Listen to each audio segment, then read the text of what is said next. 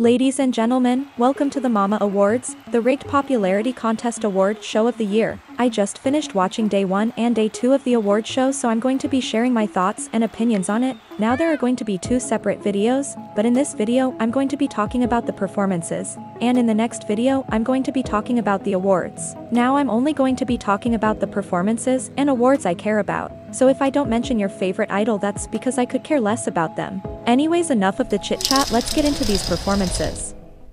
Kep1er performance was literally a bootleg knockoff version of ITZY's 2021 Mama performance. How creatively dry do you have to be to copy a performance? Performances are not meant to be recreated. Not only was this performance a cheap knockoff, but I truly hate fighting choreography. I cannot stand it. I didn't like it when ITZY did it, and I sure don't like it now. Like there's so many other creative things you could come up with and you chose to give us a funky little awkward fake fight. Like please be serious, and if you're going to copy something at least try to make it different, they copied ITZY's whole concept all the way down to their outfits, the only good part of their performance was the dance break.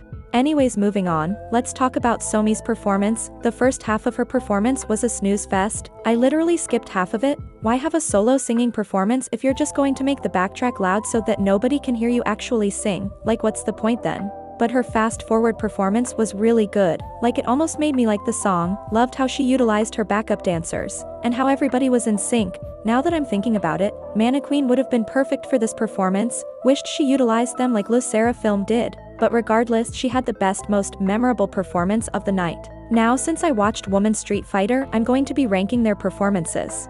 Coming in fourth place, we have Lia and Mina's duet performance. I love the fact that they are doing these little duet performances to let everybody know that they're in cool terms again, but can they please stop? They don't go well together performance-wise. Like when they had their little solo parts during their performance in the beginning it was decent, but once they came together it just went downhill, and if you are going to do a duet with somebody you two need to both be completely in sync. There is nothing worse than an off-sync duo. In third place we have the trio performance, I didn't really love their performance and it started to bore me midway. In second place we have Kirsten's performance, I just want to fire the director and the lighting coordinator that was in charge of this little performance. The concept of the performance was cute but it could have been executed a lot better, and the cameraman was doing way too much. Like the cameraman was making me dizzy, I was getting motion sickness trying to watch her performance, but regardless of all that, her performance was still good.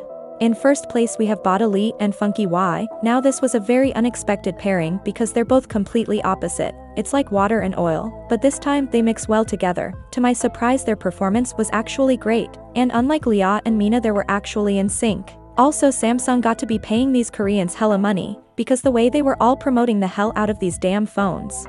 Now I do not really keep up with boy groups, I do not know what happens on that side of K-pop. Neither do I care, but this Mama Awards had so many boy groups performances that I was forced to watch some of them. The only one that I really liked was ENHYPEN performance, their Bite Me performance was good. I've actually never heard Bite Me before, and although the chorus was stupid and sounded awkward I actually still ended up liking the song.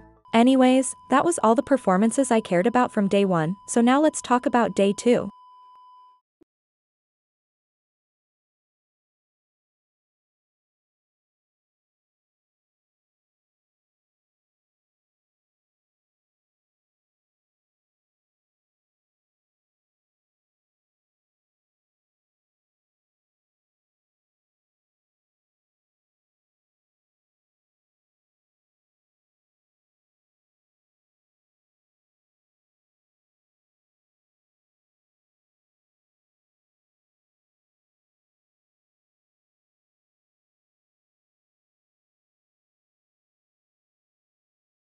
2. (G)I-DLE's performance was so funny to me there were so many awkward parts. The beginning of their performance made me giggle, Soyeon loves her, a good long-ass feminist speech, but my thing is, why do they do these long monologues in English? Because they are performing in front of a Korean crowd. Like why are you talking in English when your audience is Korean or Japanese? I don't get that. That's like if an American artist was performing at the Grammys and started talking in Korean, like does. Nobody else find that absurd. They started walking towards the stage and Miyeon randomly did a high note, like that made no sense, and then they had their little dance break and they were not even on beat.